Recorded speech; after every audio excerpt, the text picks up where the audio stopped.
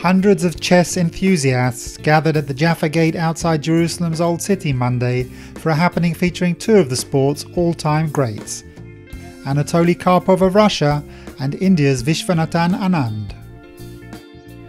The event was held as part of celebrations marking Israel's 70th anniversary of independence. Anand, who last held the world title from 2007 to 2013, a rule that included a successful defense against Israel's Boris Gelfand in 2012, told TPS that he was very impressed by the event. Well, I'm just extremely happy to be here. It's um, uh, they said they were going to uh, uh, organize a nice uh, kind of chess festival, and I think they've done a brilliant job.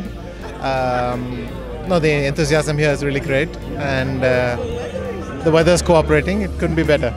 The highlight of the evening was a simultaneous chess tournament in which Karpov, twice world champion, faced off against 25 opponents, while Anand, also a two-time former champion, took on 29 players.